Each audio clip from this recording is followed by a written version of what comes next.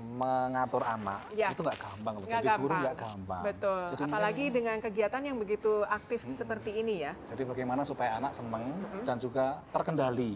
Nah, itu nah sekarang kita uh, duduk dengan orang yang bertanggung jawab. bertanggung jawab atas perancangan program-program ini. Laurel, thank you so much for sitting with us. welcome. And you're responsible in making creative activities in this kid museum. Um, yes, we work together. We have a team of, of educators and uh, makers, um, artists who uh, work together, and we have students come um, of all different ages, mainly elementary and middle school students. But uh, we also have preschool students that have started coming, and we work with high school students um, as in, a, in an apprentice program where they help us to um, work with the younger children. He just mentioned how hard it is to to you know manage to manage the little the kids. kids, yeah. What is the secret?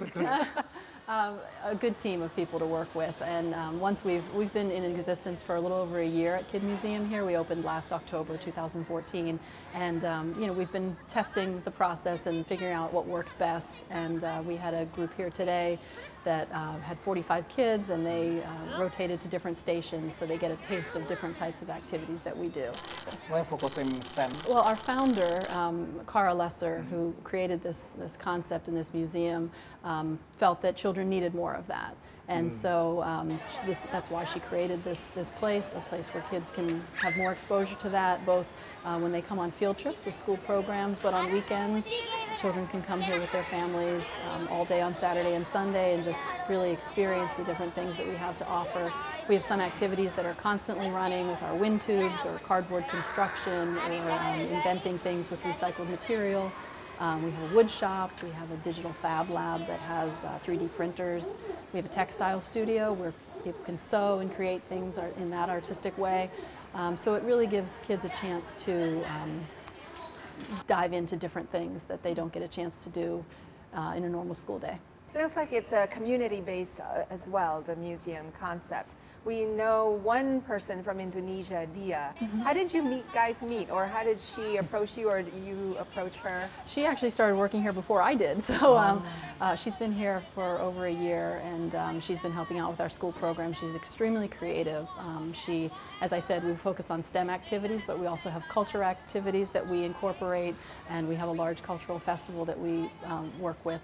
Um, called the World of Montgomery, which just happened in October. We do that every year, and she's been very helpful in designing some of our cultural programs. She's very artistic and creative, so um, it's wonderful to have a diverse staff where you know some people have a teaching background, some have an artistic background, some can bring you know their own cultural background experience into the activities that we do. So it makes for a very um, great mix of activities that we can do here. And how often do you have a school visit here? Every day or? Not every single day, um, a few times a week usually. This week we have three visits, next week we have four visits. Um, we serve public schools and private schools. We work with not only, we're located in Montgomery County, but we don't just serve the students here.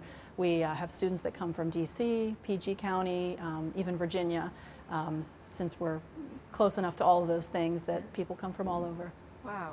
Who supports uh, the Kid Museum? Is it com- the community? Um, is there a, a Go- group of local donors or the government? We do have donors. We've been very lucky to be supported by um, Montgomery County. Uh, the the, the uh, Montgomery County has given us this space to work in for three years. So um, we're located in the lower level of the Davis Library, um, but they've given us this space. The county has, um, which was very generous of them. Um, we have a great relationship with the county, so they support us and we support them.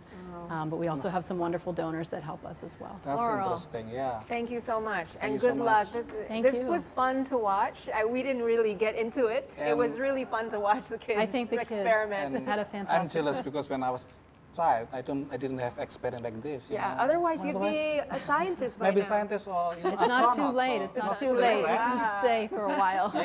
Laurel, thank you so Thank you much. so much. Thank you. You're Nah, dulur, jangan ke mana-mana kita akan melihat lagi ya Lagi, oh. kreativitas dan inovasi setelah sam-sam berikut.